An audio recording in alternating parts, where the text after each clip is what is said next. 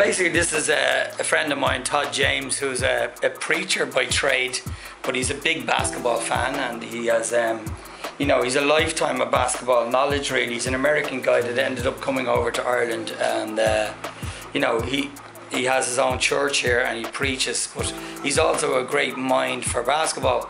But this is collection of books, and I suppose he's read them all, and he's no more room for them. So he kindly last week came into the camp, to the Rip and Run camp, and he donated the, the books to the camp for the coaches to read. So you know, there's some excellent books. Some of them I have myself, but like a lot of them I haven't, and some of, of them I've read.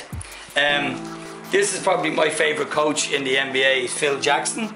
You know, well, one because he's successful, but two, I um, say seven, eight years ago, I was sort of instrumental in putting the triangle offense into uh, my team in Ireland, and then a lot of coaches copied the triangle. But the, the triangle offense is based based on um, Tex Winter, who's a well-known basketball coach, old school. Okay, and then a lot of coaches, this offense has gone around the world. So for me, I wanted to learn a little bit more about Phil Jackson and his philosophy. His philosophy is certainly just more than basketball.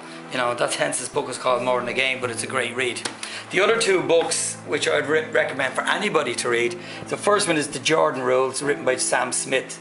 But what's interesting about this, if you want to be a player and you got to understand the mind of a great, great player, probably the greatest player that ever played the game, if you understand his mind and his competitiveness, and some of the stuff is not so nice in this book. You know, Michael Jordan's image is really like well looked after by the media and by the NBA to sell, you know, lots and lots of T-shirts.